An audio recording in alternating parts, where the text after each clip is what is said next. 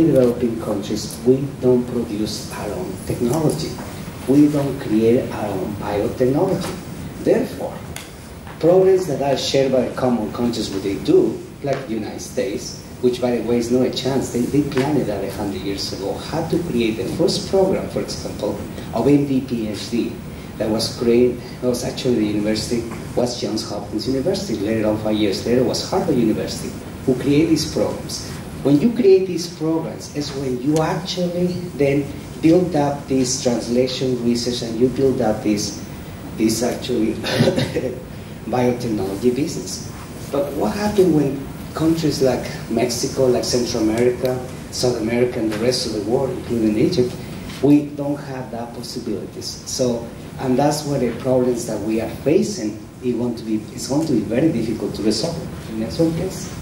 And for example, one of the things that when I founded this field of neurobiology, uh, three years ago we've been meeting for over 40 meetings, Pan-American meetings, I've been meetings with all the leaders in more than 18 countries in my region. And one of the, the things always I wanted to do is how can we prevent and eradicate viral diseases? Obviously, viruses, we can never get rid of them because 65% of our human genome is built of viruses. In fact, it's only a matter of how our immune system with viruses can match and we can get sick or we don't get sick. But the, but the ways that when I make, and we make our list, what are the diseases that we need to fight? Someone, for example, asked me about the dengue virus. Dengue is a virus that can produce hemorrhage and people can die. In Mexico, every year, between six to 800 people die, young people. And the reason why, someone asked me one time, I said, you know, one of the reasons why dengue is still like this is because it doesn't happen in Washington, D.C. If we have 10 people dying of that disease, it will get fixed like this. But the problem happens in areas which is not problematic in other ones. And of course, our countries cannot create their own technology.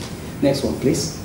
So therefore, after being in academia for 25 years, what I decided to do that the best way to help something, to bring something that makes an impact, is to create a company. That was in my personal, because I went through help my country, I created centers, I created programs, I did everything. And then many times very frustrated because I could never do anything more than that. So anyway, we create TruBios. True Bios is a company that has three major points. It's commercially, clinical trials, commercialization, and venture capital. And this, we are, we have three offices. Today we have 50 employees, and, our, and, and basically a network. Next one, please. And next one. And what we try to do is to impact the things that we can create ourselves. In the next five minutes, I will talk about cervical cancer, but also with the common partners with other people, we try to bring technologies of high, techno uh, high uh, science that makes a big high impact and also to the low cost. And because of that, we so far we have over 14 products that we are currently commercializing in the Americas, and one of them is for breast cancer. I hope, uh, can we maybe make a video? The way I just want to show you quickly in video is that this is a therapy that, um, that works for, for, maybe we can make it bigger? Yes. This is a therapy, a simple therapy. Breast cancer that, let me hear you, what is that? Please go ahead. Cancer has become an epidemic, with almost one in seven American women diagnosed during their lifetime. We need as many tools as possible to fight this epidemic. When breast cancer develops, Yeah.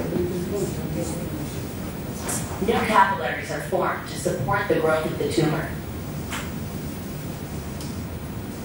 This process, known as angiogenesis, results in an increase in cellular metabolism, which causes the area to give off more heat than normal.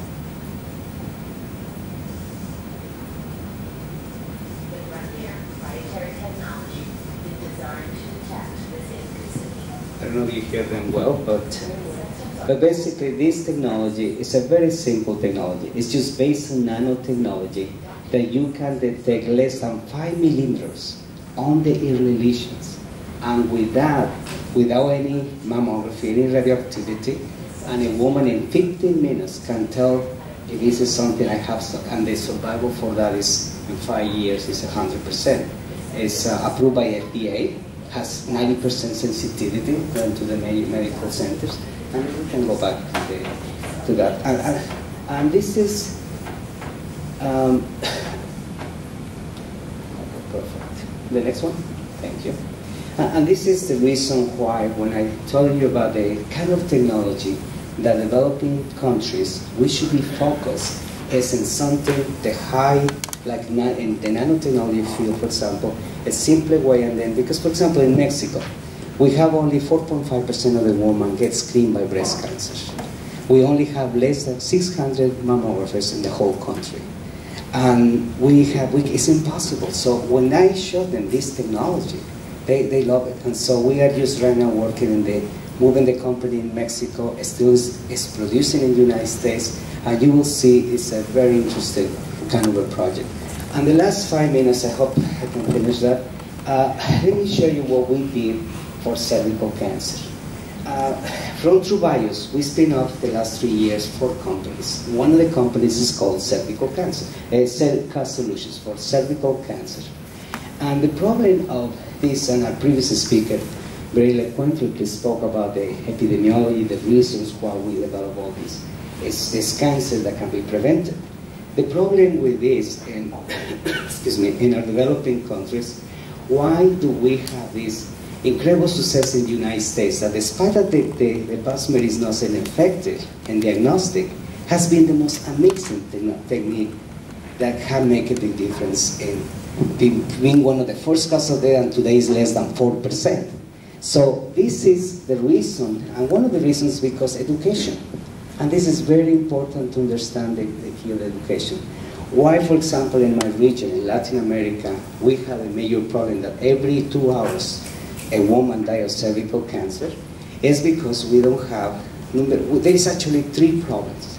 Less than 10% of all women in Latin America are seen by the specialists, the obstetric and gynecologists. And that's it. And 90% of women who have, can see the, the, the patient are general physicians. In Mexico, we have the European training, so after high school, people go for seven years to medical school, and that's it. So they don't have more skills how to even make a diagnosis. So even, even if you bring the best diagnosis possible, it doesn't matter. Only will matter for these 10% of doctors who may have the technique is not the best. But you know, we have a window of seven years. Even if you don't have a test today, the next year or next year, and you will have a very accurate test. And there is many uh, testing which can help to that. But that will help solve the problem just partially. And the reason why is because most of the women will not go to see a doctor unless they are sick. And in this cancer, because they don't feel any symptoms, so it will be too late when they come. So that's the, that's the reasons why we have a major cancer. So we need to come something to establish, and not even to bring the therapy, we should have, next one please, next one. We should have something that, that can help with other things. So a friend of mine that I have the honor to, to, to meet, his name is Vanderlei Bagnato. He's a molecular physicist from MIT. He was one of the, the pioneers in the quantum mechanics laws. And actually, he, he's been several times candidate for the Nobel Prize. Only three of his classmates won the Nobel Prize, he didn't. But one thing that uh, Vanderlei has done is to work in how light and using the whole nanotechnology laws, how can we be effective to do a photochemical reaction? And so this is a therapy that with the porphyrin, which is part of our, our, our, our any cell that we have, we have uh, these photosensitizers, for example, you know the plants. The plants, they have the chlorophyll. That's why we have the photosynthesis. The sun comes and heats it, and, and because the proteins are chlorines. Humans, we don't have, we're not green, so we don't have chlorines. But what we have is porphyrins. Next one, please. So when you, and next one, when you have light, porphyrin, you produce a singleton oxygen that is called, is one molecule of oxygen. Usually the, the human body, we have the oxygen in three molecules but one is only one. This is the singlet. Next one, please. And so this singlet is produced in the mitochondria. This is just to give you the idea, the cycle that the porphyrin has And this cycle begins with a, a, aminolevulinic acid, which is actually a cream that we can produce, and we have a company who produces this one. But when this cream comes into the cells, they become a proporphyrin, and proporphyrin is the one that is in the sterile membrane of the mitochondria, and that's when, when you induce the, the light, you induce the oxygen toxin. Next one, please. And this is an example of how the cell will induce and start to be dying having these specific, specific um, pathways of apoptosis. Next one, please. But let me give you an example. Here we have already this therapy working with the skin cancer and condyloma acuminata. Next one. Here is a company that we actually, we are part of this company as well. We have over 80 employees. Uh, our TruBios is a member of that network and we actually are commercializing the skin cancer. Uh, we, our first study, we finished over 4,000 patients who have that. Next one.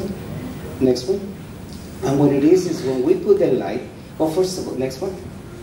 When we put the cream and you wait for three hours, in one hour, the, the normal cells will eliminate, will make the cycle, and in one hour it's gone. But the tumor cells, they retain for even two days. If you don't do anything, nothing happens. But if you put the light for 15 minutes, you can kill that tumor cell selectively. And, and only that, that it can reflect you the light, so you know exactly where the region is. So you need to do the staining, you need to do anything. Next one. This is an example of one where you know, even you, with the light, you still can see that. That is a normal skin cancer, a basilar carcinoma, and look two hours later. The red color is a reflection of the porphyrin inside the cells. And with the normal light of the laser, 202, 410 nanometers, you can even see with the light. It's a very simplistic way. Next one. This is a person. This person has for many years this cancer. The person, the oncologist, unfortunately as a doctor, being myself a doctor, you know, we still are in the, oh, in the cave times thinking that everything is radiotherapy, chemotherapy. I say one day in our history, we will, we will talk that the doctors in the 20th century, they used to treat the patients in a barbaric way. But that's just what is today. But tomorrow will be a different. So this is a person, for example, the oncologists, they decide not to remove his nose because they want to remove his nose, part of the arm. Imagine that. And then the boss make sure everything that, but it's going to destroy his face. Well, we, we given only one treatment, two grams of the cream. After 15 minutes of the therapy, one month later, that's the result. Next one. This is another case. You have the cancer in the nose.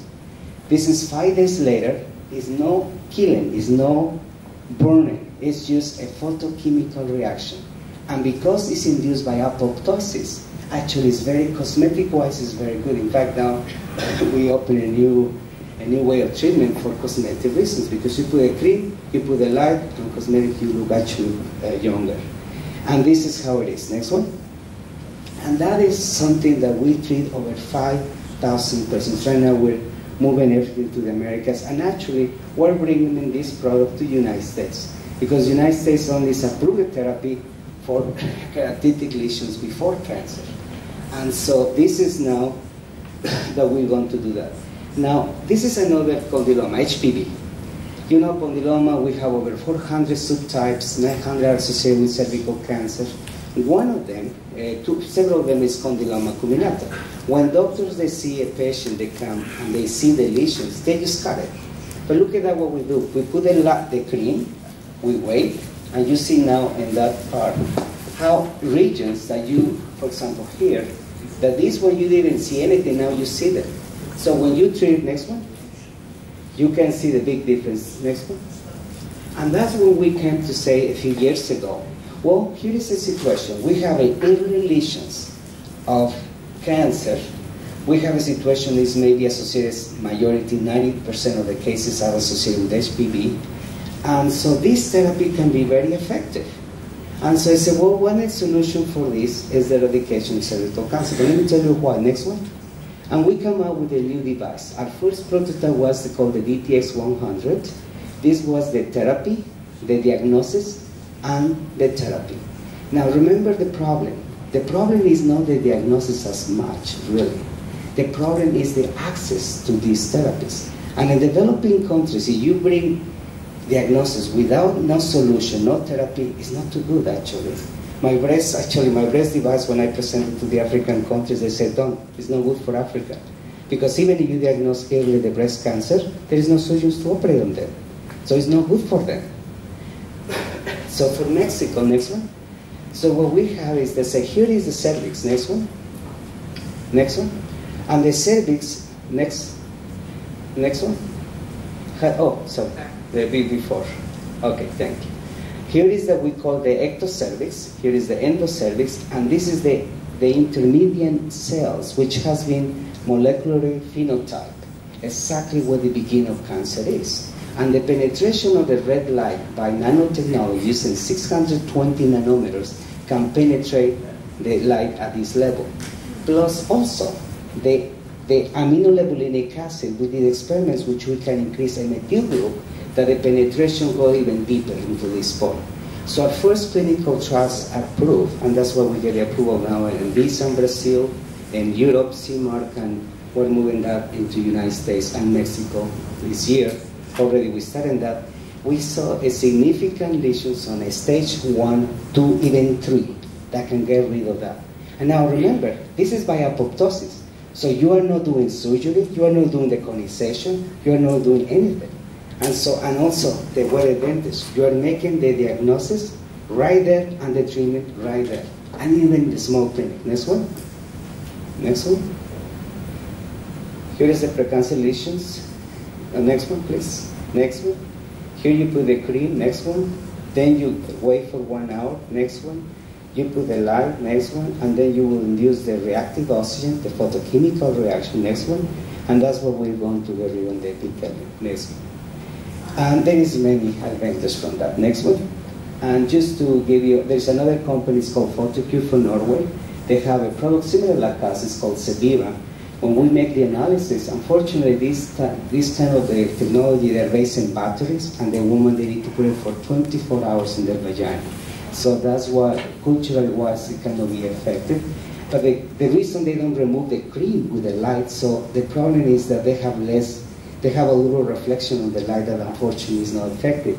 But this company has already invested over $80 million. They've been in a lot of clinical trials, it's been approved now. Still getting the approval with the United States as us, but uh, it's, a, it's a wonderful technology, it's been working. Next one. So here is our, some of our patients, as you can see in the clinic. Next one. But now we have to the next stage. This is our second uh, phenotype. Next one. And here you have a very diagnosis, the therapy. Next one. Uh, here is a patient is going to be that way. Next one.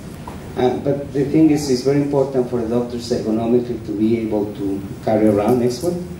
And believe me, I've been in a lot of planes carrying my big bag, my first prototype. And I need to talk to the flight attendants. Listen, you need to help me. I cannot check in. It's a no, it's a little bigger, but I have to carry on because this is. And when I explain with them, every special woman, they say, no, we're part of this. No, we will help you. Let me put it in this way.